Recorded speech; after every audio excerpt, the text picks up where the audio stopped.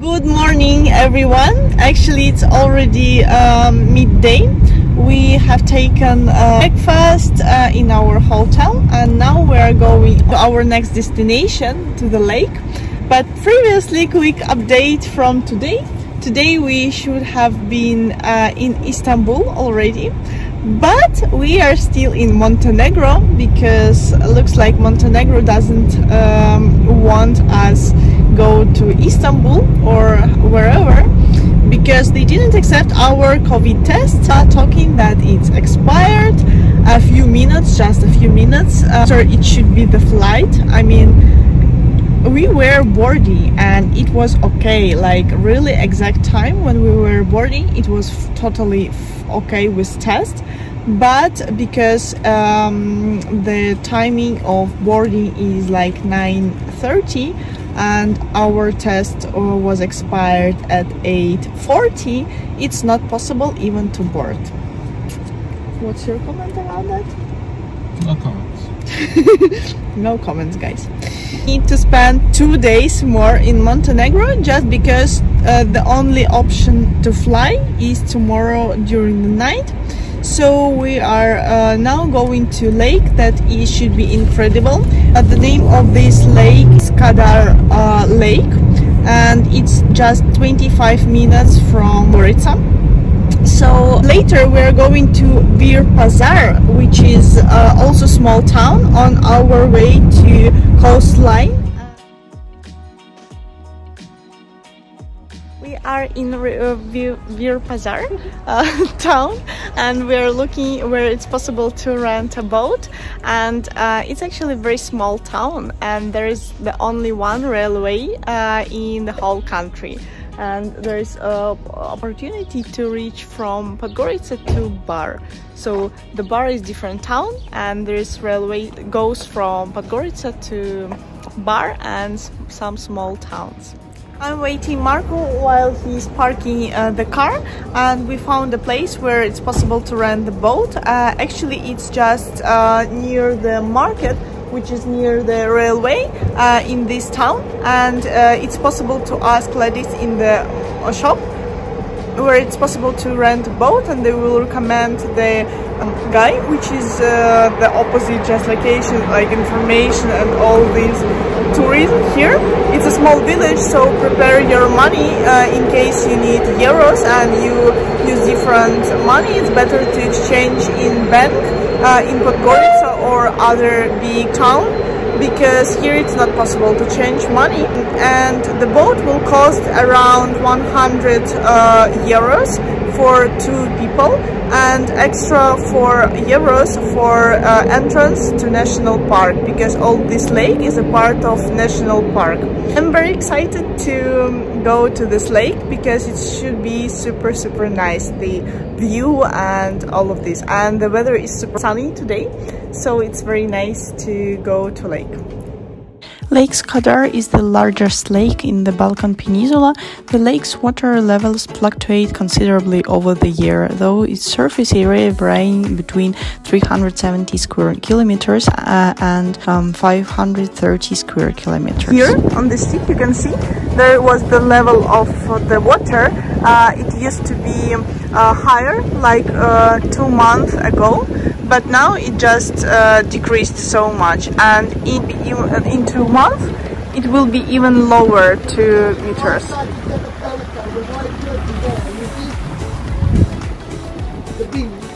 And people will come here to fish and just have a walk.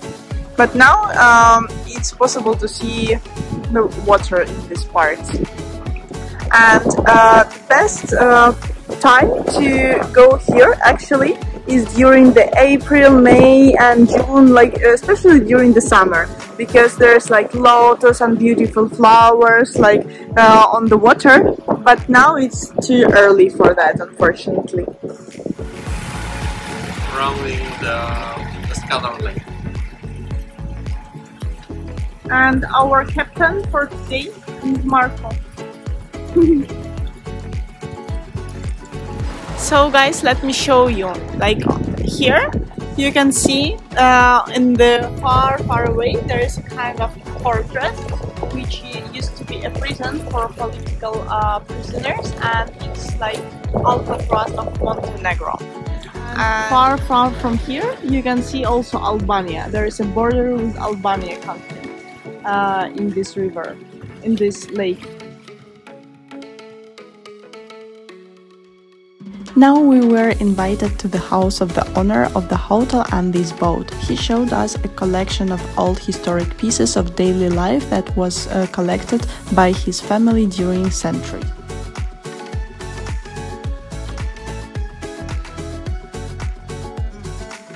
And we are coming to Old Bar part.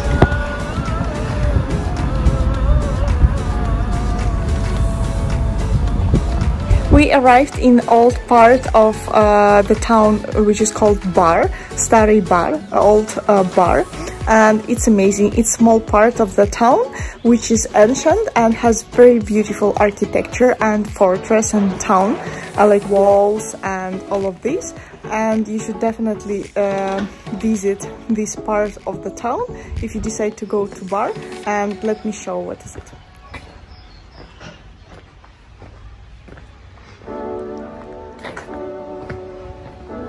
The price of the ticket is 2 euros per person.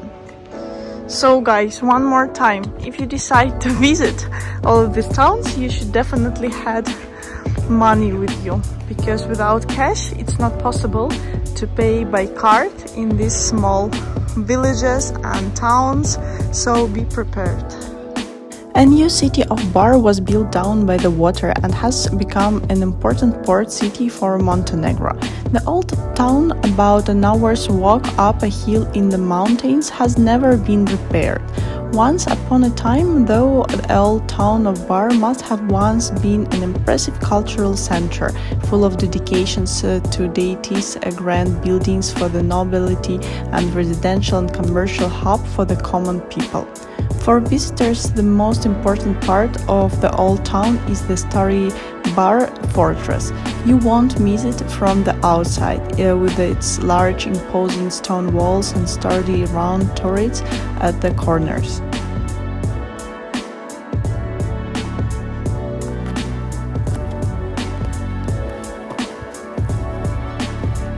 It's also kind of historic place because it means that here was occupation and it's just kind of monument for a few people who were participated yeah, and defending this part. Look, and here is magnificent panoramic view to the hills from this fortress.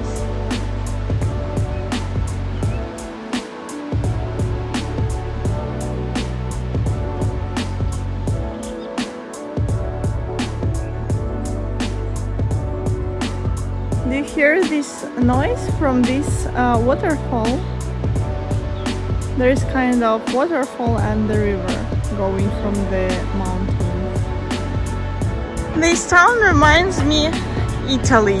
I'm not sure, but first of all because of some tiny streets and also because of some plants or trees and these colors powder magazine depot that was built in 1705 year and it collects more than 650 pieces of all archaeological uh, elements, parts of the buildings that were found during archaeological research after earthquake. So many.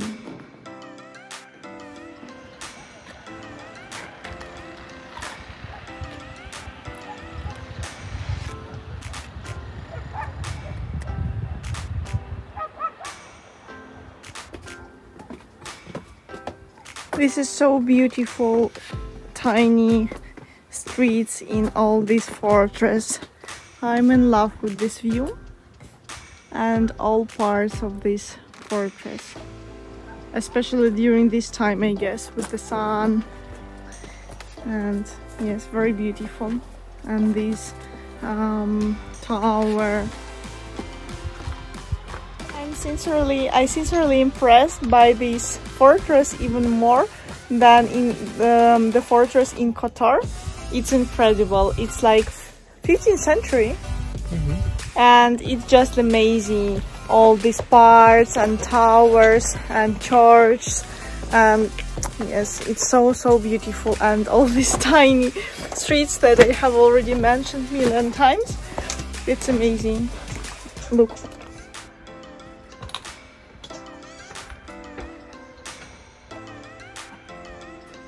This uh, church and uh, was actually reconstructed into Turkish uh, mosque, so that the reason even hammam appeared here, as you can see. Let's check it after. After all this long walking, I arrived to my favorite part of the walk.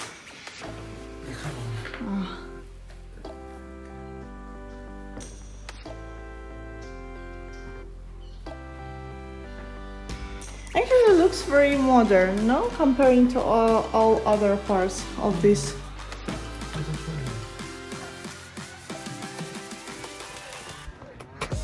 No, I like it. Actually, here in this fortress, it's possible just imagine more how the life used to be than in other places I have been visited before.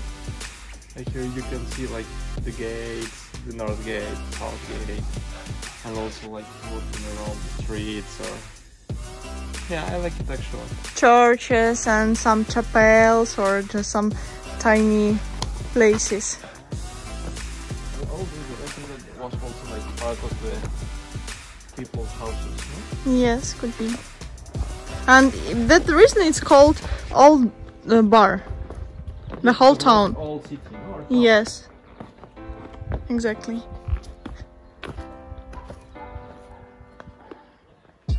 Actually, it's very peaceful and relaxing, and have their beautiful view of this landscape. Yes. Here is also mosaic that was used in some parts of this place.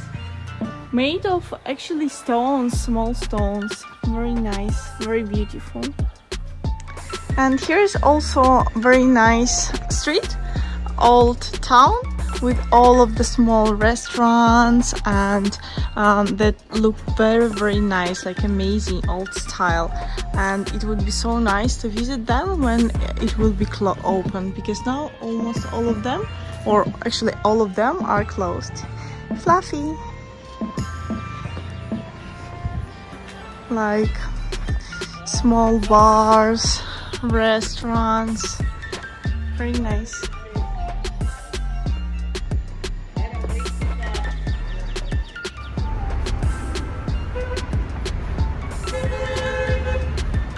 we just took PCR test uh, and it cost us uh, 80 euros one test. It's like insane, guy. Even in Mexico, you did like cheaper, no? No? 150 euros. Wow! Guys, I love Russia. Russia, it was like less than 50 euros. So, if you want travel, guys, it's really expensive, all of this. But at least we will have it. So it's good. And it's good that it's very quick one. Good morning, guys. Uh, today, as usually, last day's sunny morning, and we are going to Ostrog Monastery today after having breakfast in hotel. It will take us around 50 minutes uh, to reach it on by car uh, from hotel and uh, it should be very very beautiful and we will tell you later more about this place The main difference between this monastery and other monasteries is that this monastery is half Orthodox and half Catholic. And uh, it's situated uh, exactly in the uh, rock. So it's kind of a rock monastery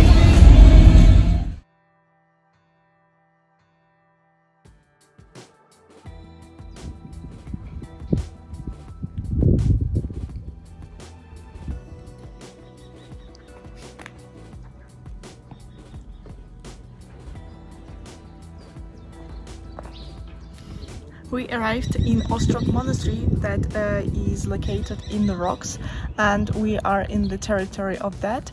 Um, it's very very beautiful. We have already visited the church and um, here is very peaceful place, isn't it?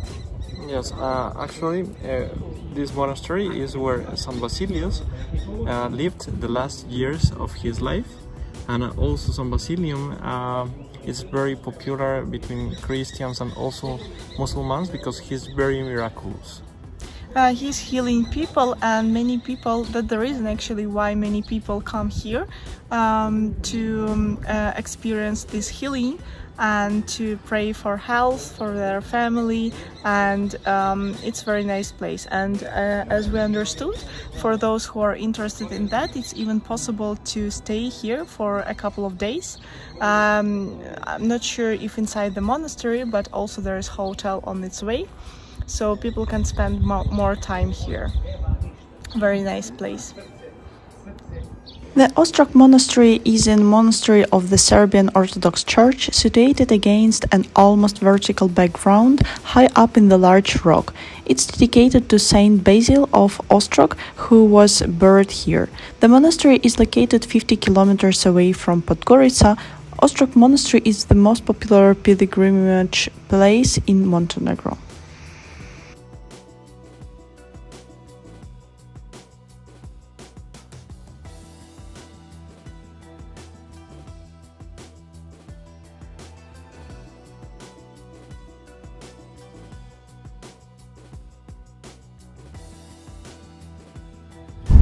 Visited one more monastery which is called Sitinsky Monastery.